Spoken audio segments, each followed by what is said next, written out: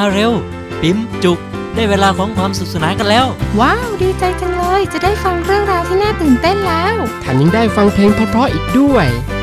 รายการอะไรจ๊ะพ่อ ฟังดูน่าสนใจจังเลย ก็รายการห้องเด็กเล่นไงล่ะจ๊ะแม่ ที่ New Life Radio FM 96.75 MHz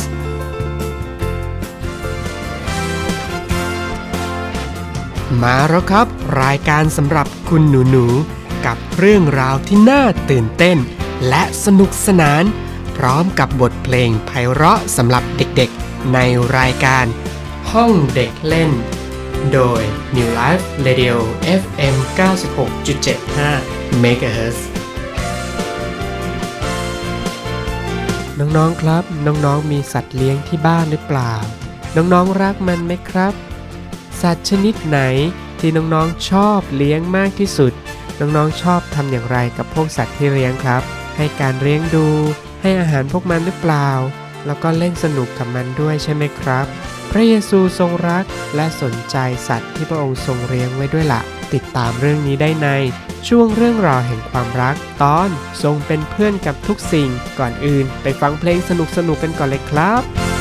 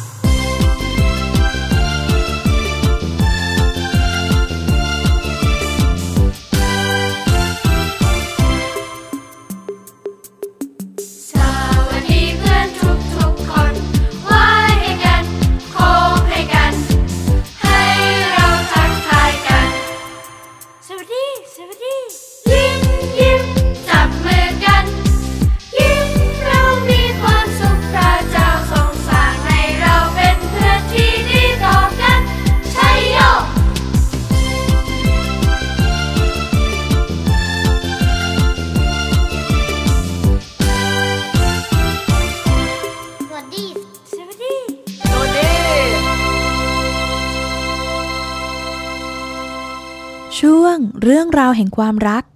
วันนี้เสนอตอน ทรงเป็นเพื่อนกับทุกสิ่ง ในที่ที่พระเยซูอาศัยอยู่ เกือบจะทุกครอบครัว เลี้ยงสัตว์ อย่างน้อย สัตว์ชนิดหนึ่งที่พระองค์ได้เลี้ยงไว้ก็คือลา ลาเป็นสัตว์ที่แข็งแรงมาก พวกมันเป็นสัตว์เลี้ยงที่ใช้ในการแบกหามสิ่งของต่างๆ ได้ดี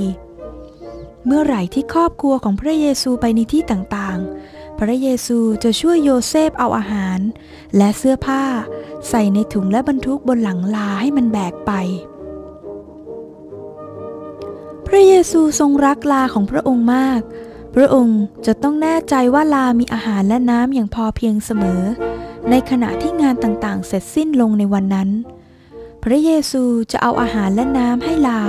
และนำมันไปเก็บไว้ในคอกเพื่อพักผ่อน หากพระเยซูเห็นว่าพวกเด็กๆกำลังแกล้งหรือลังแกลสัตว์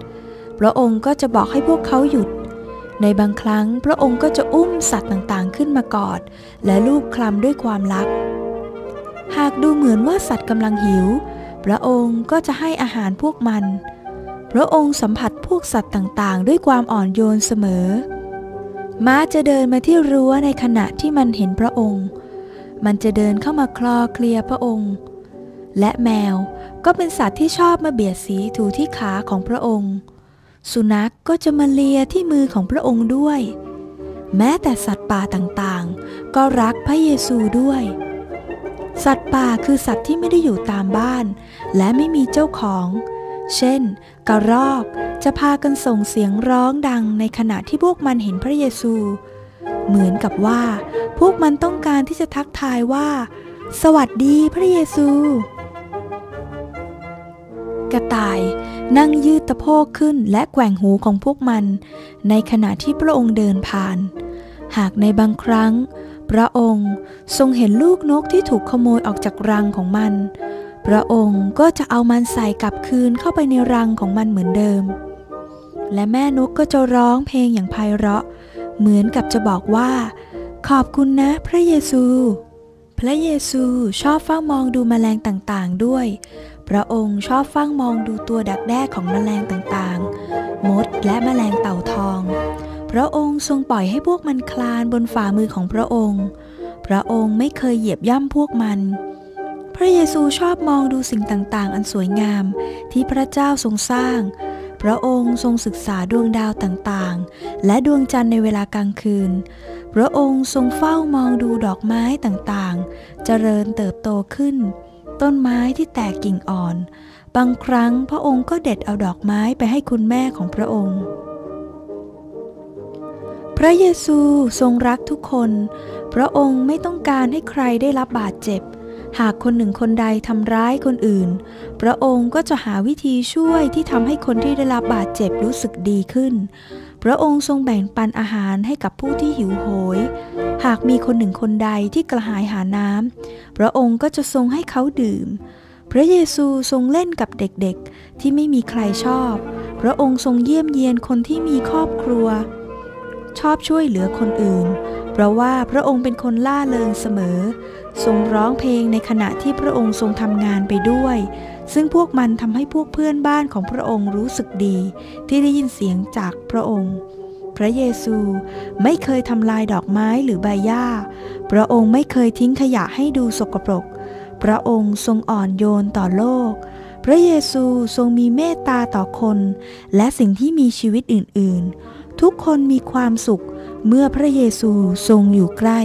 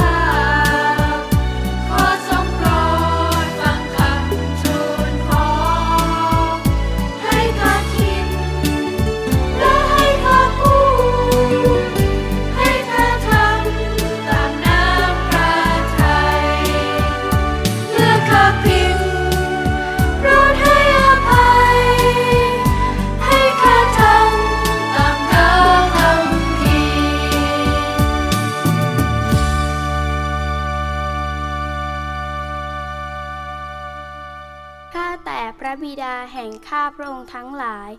ผู้ทรงสถิตในสวรรค์ ขอให้พระนามของพระองค์ เป็นที่เคารพสักการะ ขอให้แผ่นดินของพระองค์มาตั้งอยู่ ขอให้เป็นไปตามพระทัยของพระองค์ ในสวรรค์เป็นอย่างไร ก็ให้เป็นไปอย่างนั้นในแผ่นดินโลก ขอทรงโปรดประทานอาหารประจำวัน แก่ข้าพระองค์ทั้งหลายในกาลวันนี้ และขอทรงโปรดยกบาปผิดของข้าพระองค์ เหมือนข้าพระองค์ยกโทษผู้ที่กระทำผิดต่อข้าพระองค์นั้น และขออย่านำข้าพระองค์เข้าไปในการทดลอง แต่ขอให้พ้นจากซึ่งชั่วร้าย เหตุว่าราชอำนาจและฤทธิเดชและพระสิริเป็นของพระองค์สืบสืบไปเป็นนิจอาเมน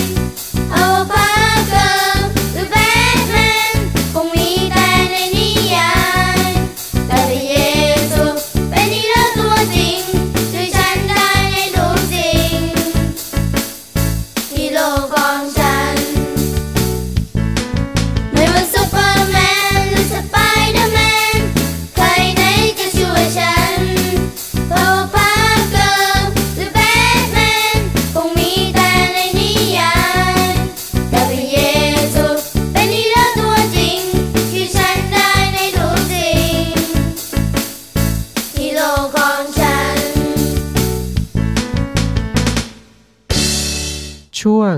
ฉันมอบทุกสิ่ง แด่พระเยซู ตอนพระเจ้าเรียก น้องๆครับ เราทุกๆคนจำเป็นจะต้องรู้จักความรักของพระเจ้านะครับ และพระเจ้าอะก็อยากให้เราทุกๆคนเนี่ยรู้จักความรักของพระองค์ แล้วก็รู้จักพระองค์ด้วย และพระเจ้าจะให้ใครไปบอกคนเหล่านั้นนะ พระเจ้าจะเลือกใครไปบอกนะอ้ารู้แล้วล่ะ พระองค์ทรงเลือกใครบางคนที่เป็นคนที่พิเศษมากๆเลย ที่จะนำความรักของพระเจ้าไปบอกคนอื่นๆ น้องๆทราบไหมครับว่าคนพิเศษคนนั้นเป็นใครกันคำตอบก็คือว่า คนพิเศษเหล่านั้นก็คือน้องๆนั่นเองนั่นแหละครับ พระองค์ต้องการให้น้องๆไปบอกกับทุกคนว่า พระเจ้าทรงรักพวกเขามากมายเหลือเกินครับ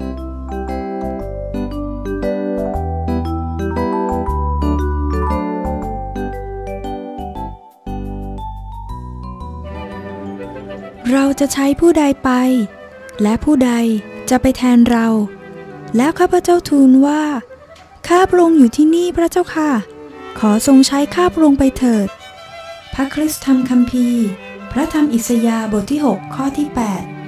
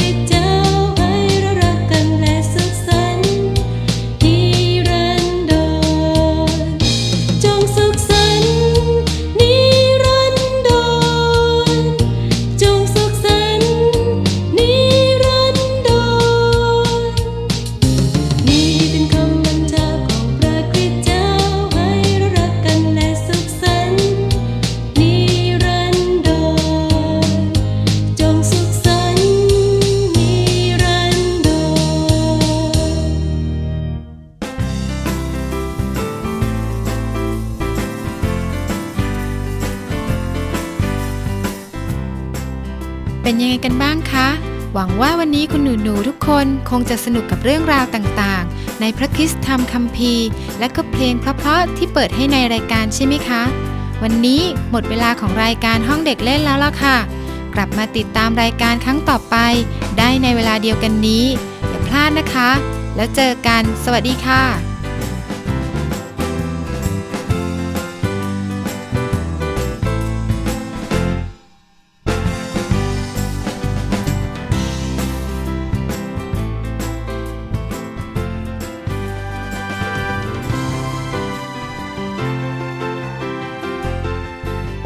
สนุกจังเลยครับ แถมยังได้ข้อคิดดีๆอีกด้วย